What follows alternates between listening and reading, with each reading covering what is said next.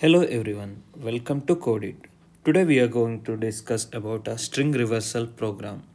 So the pro, uh, program is reverse a string without reversing digit and special characters.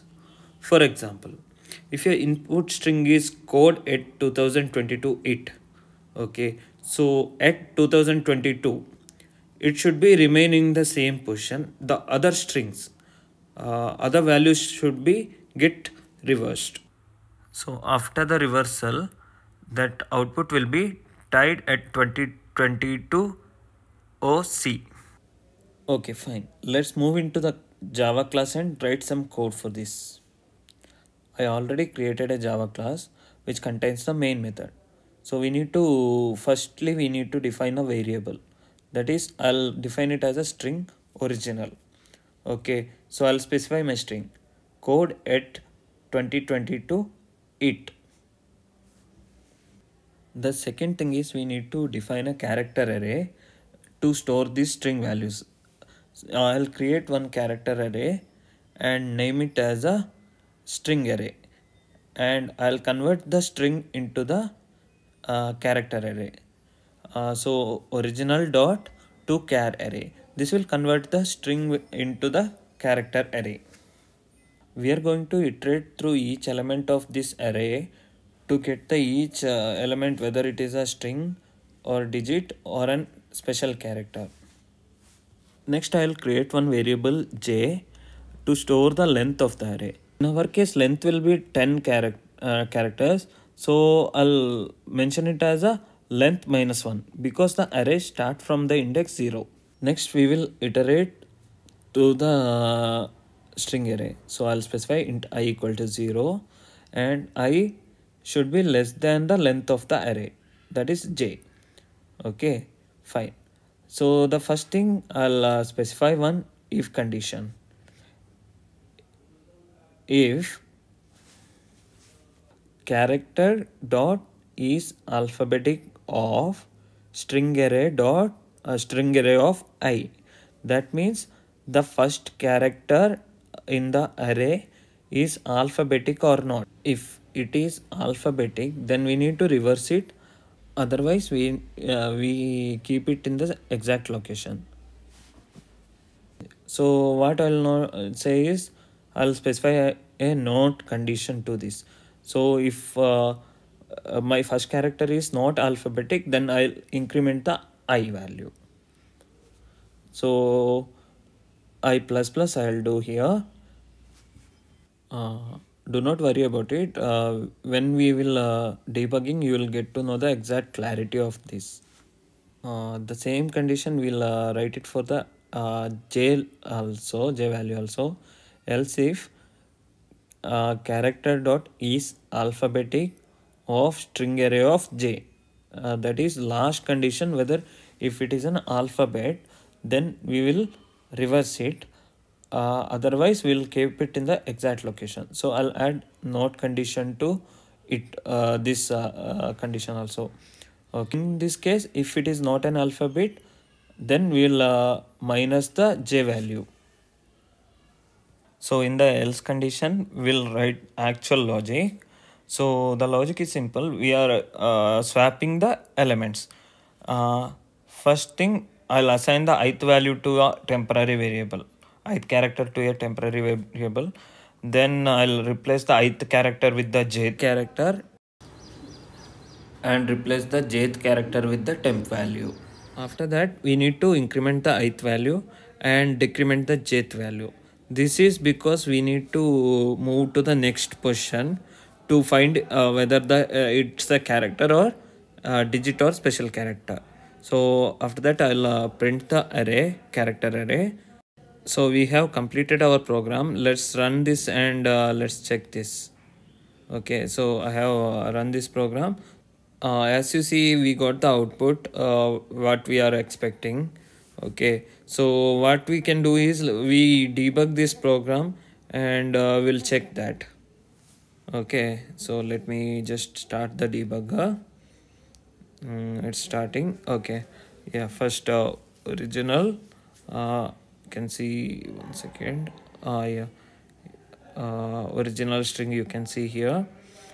Then uh, argument uh, that is 0 anyway.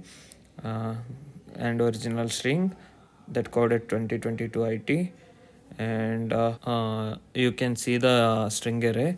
After that uh, j the size of the array that is 10 then we are entering into the loop. So first thing uh, i need to uh, string uh, array of i the first element that is in zeroth position that is c. So we are checking whether it's a digit or uh, special character. So character dot is alphabetic of c.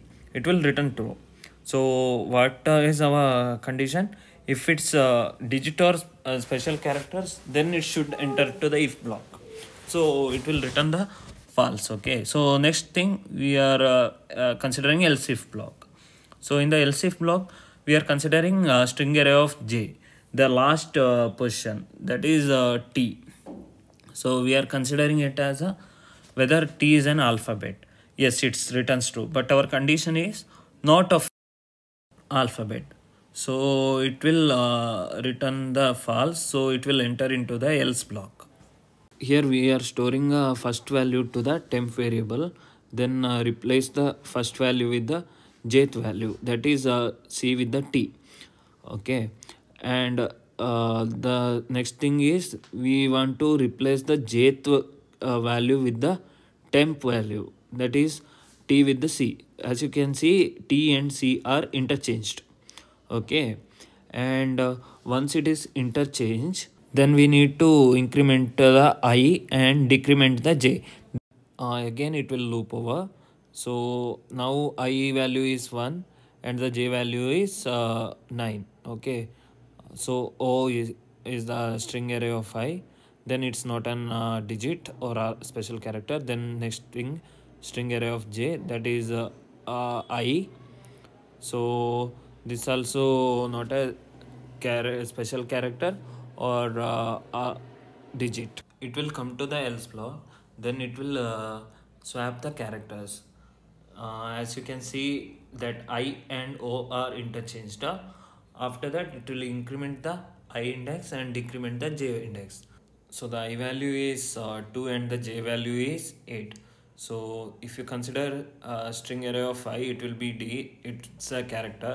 So the condition fails. Again it will come and check the j condition.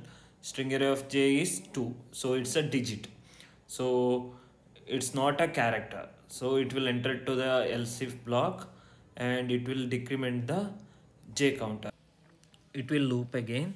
So the i value will be 2 and the j value will be getting uh, decreased. That is 7 so string array of i will be uh, d only. So this condition will fail. Uh, again it will come to the else if block. Uh, string array of j uh, it will be 2 then uh, it will uh, it is a digit so it will decrement the j.